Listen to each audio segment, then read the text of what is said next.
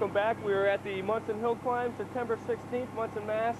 I am here with Randy and Terry Zeigler. Um, I know it's kind of early, so I guess you can't really tell us how the track conditions are, but as you know, it's a real nice day. You know, how do you think you guys are going to do today? We should do all right. There's a lot of competition here. Yeah. A lot of new cars. A lot more people than, There's than a lot of, lot of competition here.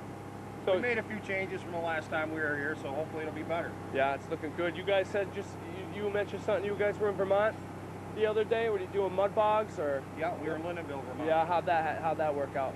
We broke the car on the first pass, so it kind of, you know, we only we ended up finishing fifth, I think, fifth or sixth. Yeah, that's so- still not that's not bad anyway. At least you finished anyway.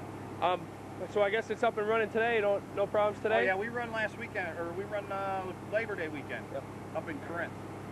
We run the sand up there, We sand set and then in the mud. We set another track record for a four-wheel drive vehicle there too. Really? What was Yeah. the record for there? Uh, three nine in 300 feet. 3.9 seconds, In 300 feet. Yes. in the sand. Yep. Yep. That's With impressive. four-wheel drive car. That's impressive. All right, you guys. Well, I guess I'll be talking to In and Out today. I, I guess good luck. And uh, the track looks pretty good. It looks like they did a good job of keeping it up over the past past week or so. So, uh, Terry and Randy Zeigler, uh, thanks a lot for talking to me, man. I appreciate it. Okay. And uh, good luck problem. today. We'll see you see you guys later. Okay. Yep.